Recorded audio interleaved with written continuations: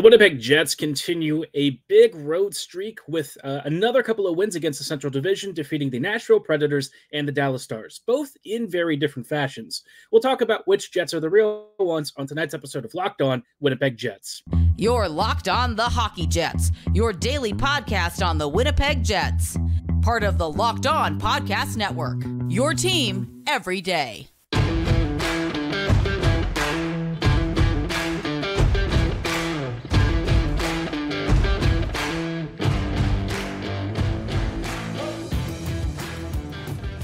Evening, friends, and welcome to tonight's episode of Locked On Winnipeg Jets, part of the Locked On Podcast Network, your team every day.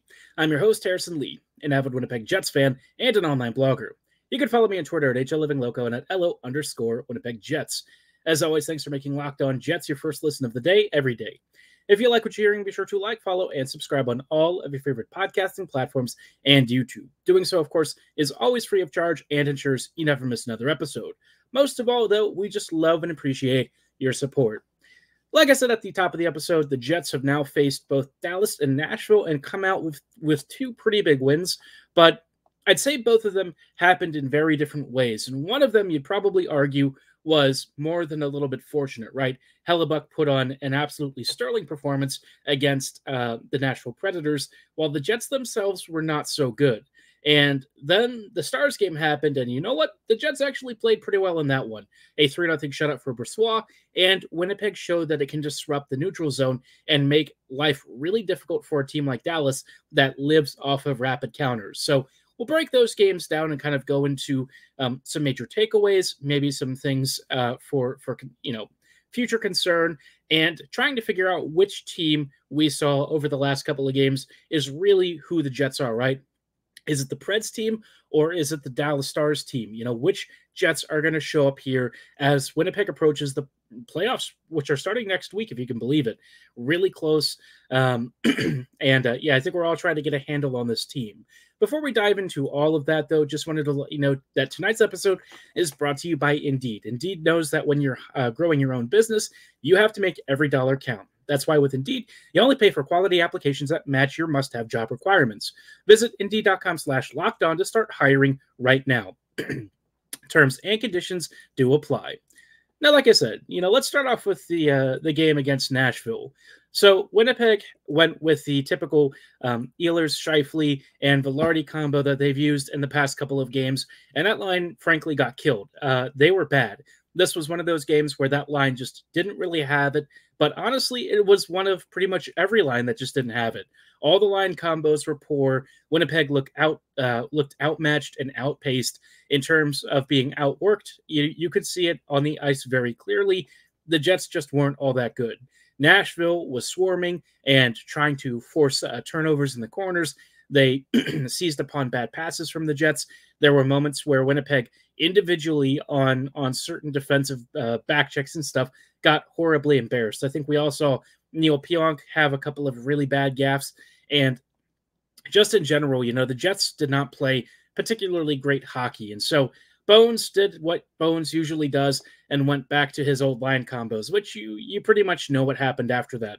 Connor Scheifele and Vilardi, and uh, of course Ehlers Monahan, and I think Toffoli at one point. So yeah, I mean, it is what it is. He sort of knew it was only a matter of time before he would do this. I think the question was just when it was going to happen. And interestingly, uh, somebody pointed out that when Ehlers, Scheifele, and Vilardi played together, they almost never got offensive zone starts. Comparatively speaking, from when Connor, Connor Scheifele and Vilardi play, Ehlers, Scheifele, and Vilardi never got the same uh, same uh, you know defend or offensive zone deployments, which means they had so much more work to do. And it sounds, you know, in so many words, uh, somebody uh, Garrett Hole suggested maybe you know Bones was trying to make this actively more difficult for the line, and I think that kind of tracks to me. Uh, not that I'm trying to be a conspiracy theorist, but I feel like with this team and how Bones has basically been a little bit stubborn with his line combos and has kind of said this is how it's going to be and if you can't play along with it you're not going to play. And i think we kind of have seen that and i think you know he tried to actively find reasons to break up that top line which is really a shame because Ehlers, Scheifele, and Vilardi gives you so much more flexibility with the rest of the team but it is what it is Winnipeg ended up getting shelled for most of the rest of the game. The only saving grace was that at the end of it, they ended up winning in overtime. This one on a uh, an overtime winner, thanks to Scheifele, Connor, and Pionk, which is really funny because those three had among the worst evenings for most of Winnipeg's players. Um, and of course, I mean, there weren't really many standouts. I think the only person who could really hang his hat on having had a good night was Connor Hellebuyck. He was in Vezina form, and I think you kind of know that when he's on his game, he is almost unbeatable, which I guess heading into the playoffs is a little bit of a confidence boost, right? Even if the Jets are playing like garbage, at least he is a guy that you can still uh, rely upon to be the guy.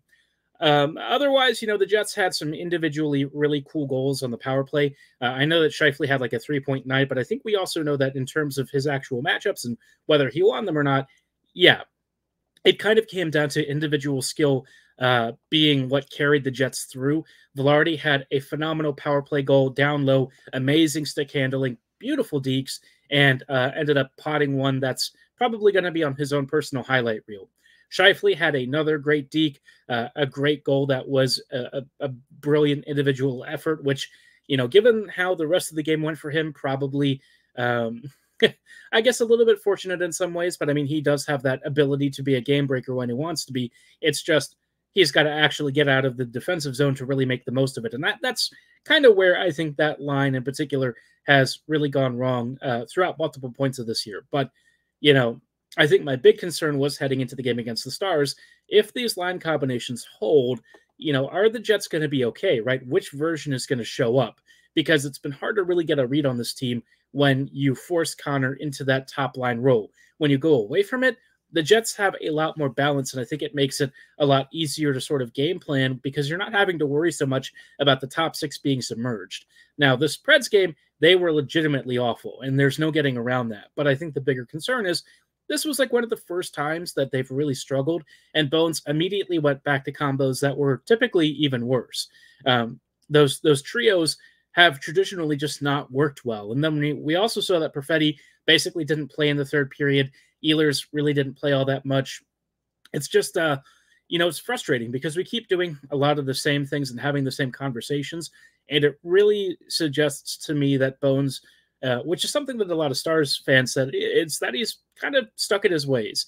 If he has an idea about how something should be, it is very hard to change that concept for him. And sometimes what he sees and what he feels about the team probably doesn't align with what a lot of us are seeing and maybe getting uh, stats reports on. And I'm not saying that, you know, the numbers are going to tell you every single aspect of this team, but I can tell you one thing they have painted a pretty grim picture for that top line, generally speaking. And unless something really drastic shifts over the next few weeks, I worry that that's going to be a real problem heading into the postseason. You know, if the Jets have to face off against one of Dallas or Nashville or Colorado in a seven game series, do I trust that top line to survive all those games? Mm, I, I got to be honest, it's going to be a really close one.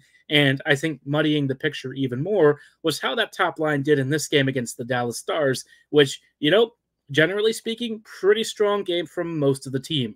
Even the top line was uh, at or just above break even, which is pretty rare. Uh, usually you see them get buried in, in uh, expected goal share, but for once, they seemingly kept up and looked pretty good against a you know a strong, fast Dallas team that has traditionally give this given this Jets squad absolute fits. We've been um, 0 and 3 in this series so far, and this was Winnipeg's first win to avoid the season sweep. So, you know, some positives and some things to really dive into. And again, we, we still have this overarching question of whether or not, you know, the the Preds Jets were the real ones, or is it the Stars Jets that we saw uh, tonight? We'll get into that in just a little bit. Before we go any further, though, I do want to shout out our friends and partners at Factor Meals. Eat stress free this spring with Factor's delicious, ready to eat meals. Every fresh, never frozen meal is chef crafted, dietitian approved, and ready to eat in just two minutes. Choose from a weekly menu of 35 options, including Calorie Smart, Keto, Protein Plus, Vegan, and Veggie. You can also discover more than 60 add ons every week, including breakfast, on the go lunch, snacks, and beverages to help you stay fueled and feel good all day long. You also have tons of different options, whether you're looking for stuff that has premium ingredients like filet mignon, shrimp, truffle butter, broccolini, asparagus, and so many other delicious flavors. Again, there's no fuss, there's no prep. All you have to do is simply heat it up and savor the delicious food. And because uh, Factor is celebrating Earth Day all month long, be sure to look out for the Earth Month Eats badge on the menu for their lowest carbon footprint meals. If you're ready to get started with Factor, head to factormeals.com slash locked on NHL50 and use code locked on NHL50 to get 50% off your first order plus 20% off your next box. That's code locked on NHL50 at factormeals.com slash locked on NHL50 to get 50% off your first box plus 20% off your next box while your subscription is active. Hello, friends, and welcome back to this episode of Locked On Winnipeg Jets, part of the Locked On Podcast Network. Your team every day. Every day, thank you so much for rejoining us as we are just uh, finishing up, you know, from a, a, big Jets win in Dallas against a very difficult Stars team that has honestly embarrassed the Jets a lot more this year than I ever expected. Uh, Winnipeg does not play well against Dallas. It's been a, a big problem this year, even in the games where the Jets were close. Uh, Winnipeg, you know, special teams kind of was the decider in the early games, and then in the later games, uh, I mean, again, there's only been four of them total, but you know, in the third game, the Jets basically just got embarrassed out, out and out by the Stars. It was really awful to watch, and so it was hard to know what you you would get in this game where you had Connor Scheifele and Vilardi back together, which was already a little bit disconcerting. Then you had Perfetti scratched, and uh, I think it's basically uh, Logan Stanley on the third pairing now. That appears to have been a change that Bones has stuck with the last few games. I guess he's now considered better than Schmidt and uh, Miller, which is interesting to me. Uh, not sure I, I necessarily agree with that assessment, but I will say one thing: I do think he is probably on par or maybe even better than Neil Pionk. That's how rough Pionk's season has been this year. Tough to see Neil really struggle like this, but all of that kind of coming into this game against the Stars had me sort of on edge. You know, I wasn't really sure what I was going to, you know, open up and find in this game. And instead, Winnipeg played what I would say is a pretty textbook way to disrupt Dallas's entire forecheck and shut down a lot of their transition game. You make it really difficult on zone entries. You essentially clog up the middle of the ice and you give Dallas very little time and space to actually make plays.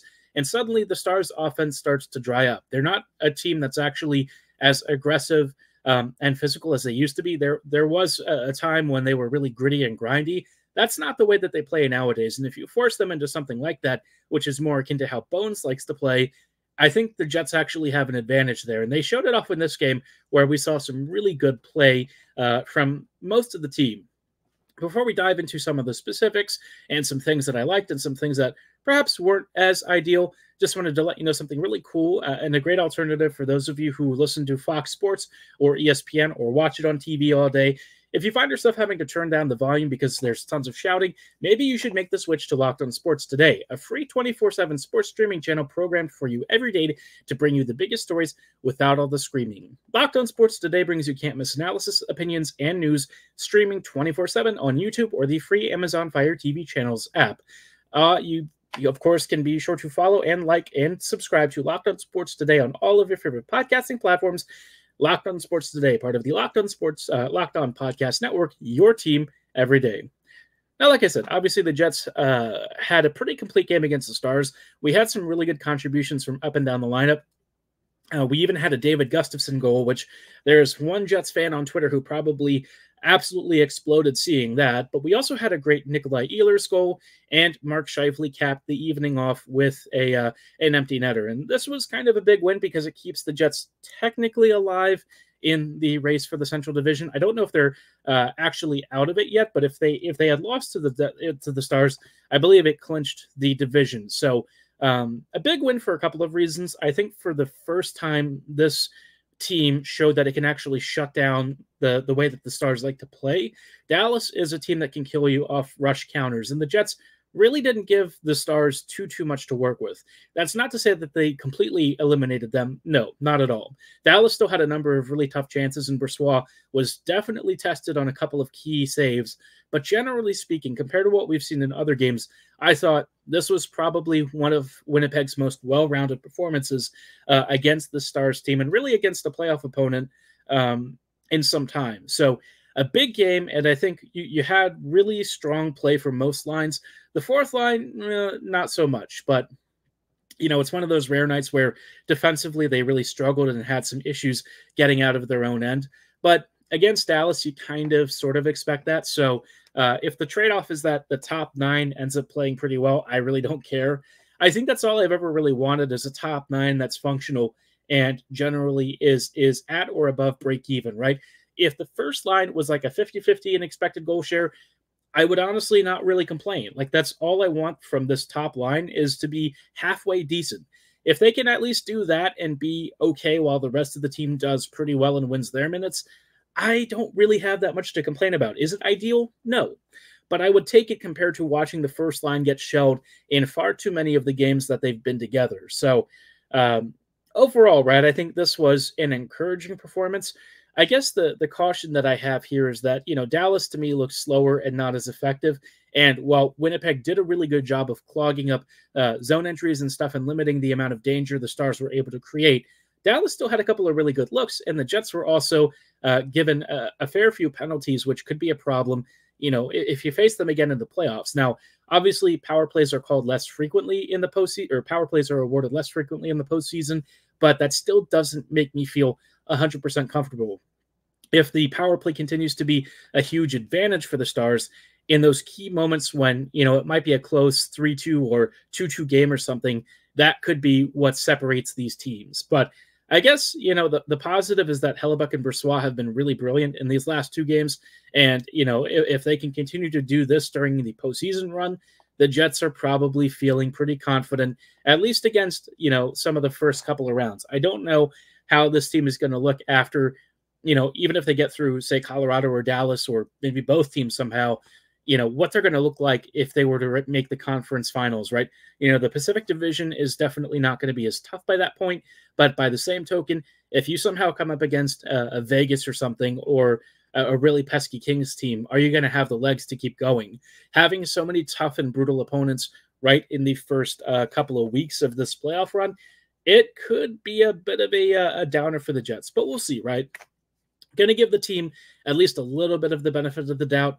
Uh, not that they have necessarily earned it, but you know, uh, some days you just kind of have to go along with the ride, and I think that's kind of where I am with the team right now. Is that you know, for all of the team's flaws and stuff, there's just some stuff that I have to sort of accept is going to be a problem and will probably keep happening. And until the coaching staff has changed over, we'll probably just keep seeing it being in a, a, bit of an issue. But I mean, it is what it is. My hope is that, you know, the whole Cole Perfetti scratching is not something that stays. Uh, Perfetti really shouldn't ever be sitting. I, I was shocked that he sat in this game uh, against a, a playoff caliber opponent. And like, I know that he didn't have a great game in, in Nashville, but like, no one did, right? everyone was kind of dog crap. And I, I really am kind of upset that Perfetti had such a good run for the past several weeks and then gets benched for, you know, some some guys, you know, I, I'm not going to say that David Gustafsson or some of the others didn't deserve to play, but like we're talking about trying to find a playoff lineup ahead of the final couple of games of the season. And if you're already scratching players like Perfetti when you're about to enter the playoffs, you're sending a clear signal about who you think is on this postseason squad. And if Perfetti is not in it, I, I really feel like that is a huge mistake.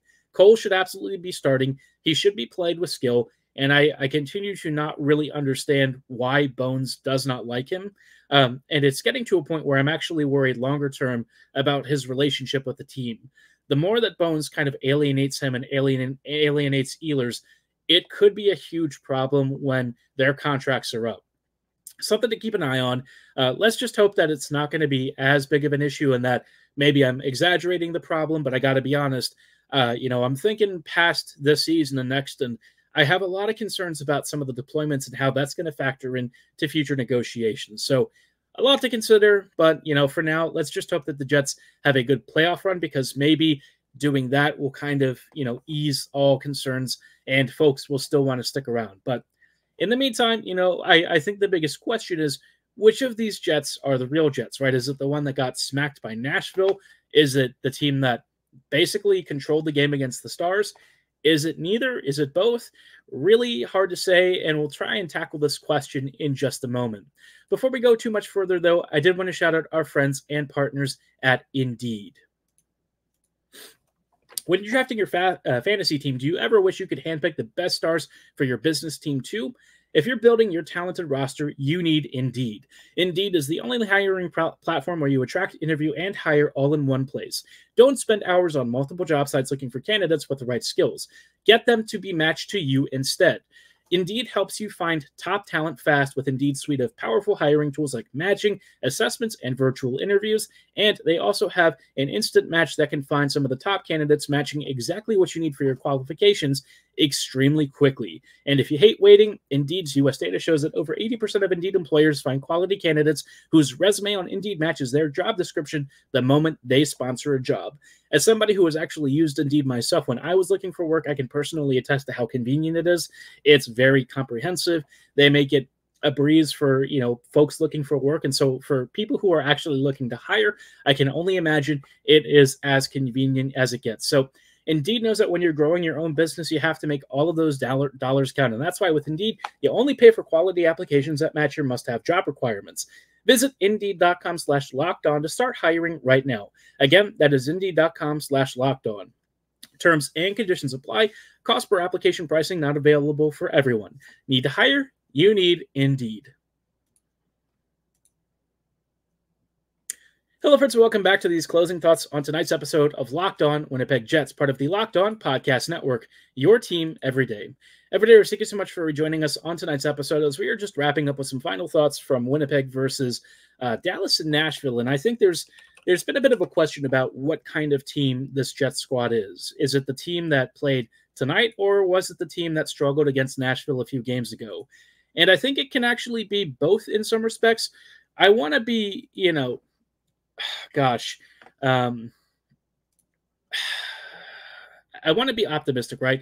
I want to say that, like, you know, for for the Jets, it, it's it's clear that they can play at the level of the the, the Stars game, but I'm just I don't know. I, I'm suspicious that they're going to continue to do it and execute this way of shutting down the neutral zone and, and really clogging stuff up on a routine basis, right? I, I, I have to say that, like, for the Jets, it's been inconsistent at best. And I think that's where I really struggle with this team is that there are moments where they play brilliant hockey, but then you'll also see some of these line combos really struggle. And I, I, feel like while the Stars game serves as a great template, I'm not sure if the Jets are able to keep doing it on a routine basis. You know, for for me, I see this team in a very flawed but talented state. And I think when you know the line combos are actually rearranged to what you might call optimal, um, this team can be one of the best in the league. But as it is right now, the, the lineups that they're rolling with, I feel like this, the Jets are kind of in a spot where I don't know. I I think they might win a couple of games against, say, Dallas or Colorado in the postseason. But then you start getting into game six, game seven, where those late game adjustments really have all the impact and make the difference. And I'm not really sure that the Jets are capable of doing that it's not that I'm I'm gonna say that they're gonna get swept or or eliminated early, but I feel like I'm just suspicious of the squad's ability to sort of adjust and and have that in-game feel to what maybe Dallas or Colorado does. And that's assuming that Winnipeg even plays one of them, right? They're going to have to face at least one of these squads, uh, but I, I, just don't know which which yet at this point. Uh, I, I, suspect, um, you know, it's probably going to be Colorado because I think with the Stars having a pretty good hold on first. Unless something really changes, uh, it, will probably be the Avs. And at this point, it's just a question of will it be at home or away for the Jets? And hopefully, they start the series off at home. Canada Life Center is a big advantage to have. And if the crowd is rollicking and rolling and everyone's excited and bought in, should be a good start to the series. But again, like I said, I just have some questions about how this team is going to perform in the postseason and even with some of these wins against the Central, I I can't help but feel like a seven game series is going to feel a little bit differently as say DeBoer or uh, um, gosh, I don't know what Bednar, you know, kind of adapts to what uh, Bones does, right? Rick's going to have a pretty stubborn and pretty consistent vision, and if you don't like it, well, kind of tough luck, right? He's going to stick to it. And I think that has been uh, a pretty clear and consistent message from him and the rest of the coaching staff. Whether I agree with that message or not, you know, it's kind of irrelevant. I, I think he's pretty fixed and pretty set in his ways. And so at the end of the day, you know, as much as I would love to say that the Stars team is the one that's the the the real Jets, I kind of tend to see Nashville as maybe being more of what I'm expecting, right? I think the Jets will have some games early in the playoffs where they might look like they did against Dallas, But as these teams start to adapt and start to make adjustments and maybe some uh, pressure tweaks and stuff on how they forecheck and how they make their zone entries, I feel like the Jets are going to struggle to keep up. Uh, and it also will kind of rely on what happens with Pionk. Pionk is unfortunately a bit of an X factor and probably not the kind that you really want to uh, be thinking about. But I mean, uh, at this point, you know, you're sort of ride or die with what you've got. And I think the Jets have pretty clearly suggested who they trust to ride or die with. Again, like I said, whether you like it or not, there's a couple of guys that are going to be on the outside looking in. And uh, I can't say I'm feeling great about it. But uh, hey, there is one slightly positive thing. It sounds right now uh, like Michigan is is pretty much out of the uh, out of the Frozen Four. They're apparently down like four nothing last I heard. Which, if that's the case, maybe McGroarty can come in and offer some uh, fourth line support or something. We'll see. Probably not playing a minute for the Jets this year, but hey, if he were to happen to get a, a uh, an NHL debut or something, maybe alongside Brad Lambert, I think we'd all enjoy that heading into the playoffs. I'd like at least some more positive vibes and, and the ability to trust this team heading into the postseason. But until they show that they can keep playing like they did against Dallas on a more consistent basis, and we only have like two or three games left to even see that, I, you know, it's just hard to really get excited, right? I, I want to be cautiously optimistic, but I, I need to see a little more. And I think the game against Colorado this weekend will go a long way to giving me um, either a more confident feel in this team or even more concern. I don't know where I'm at yet with the squad. Uh, it's crazy that we're kind of at the end of the season and we're still seeing the Jets not really firmed up their lineup. I think that is wild. It's concerning that Bones keeps making these adjustments this late in the season, but all I hope is that whatever they do, they come across a winning combo. Like, I'm not asking for perfection. I just want a team that's watchable, that's fun, and that can give us as close to a deep run as possible. Even if they get bounced in the first round, but they play really good hockey. I can accept that. I just can't accept watching this team struggle the way it has the last few years. That is what I don't want to see, and that is what I'm concerned we will see. So let me know how you're feeling about the Jets' playoff for odds and runs. Do you think this team is equipped to go deep? Are you concerned about the coaching staff changes? Do you think maybe the Stars game is going to be the blueprint the Jets use going forward? Drop your co- uh, comments and thoughts in the section below or at my social medias at HL Living Loco and at LO underscore Winnipeg Jets. For tonight's episode, though, that is going to be all the time that we have. I thank you so much for making Locked On Jets your first listen of the day every day. Be sure to come here tomorrow for a preview of Winnipeg versus Colorado, and hopefully we get to report about a win over the weekend. But like I said, that's all the time that we have tonight. As always, have a great night and go Jets go.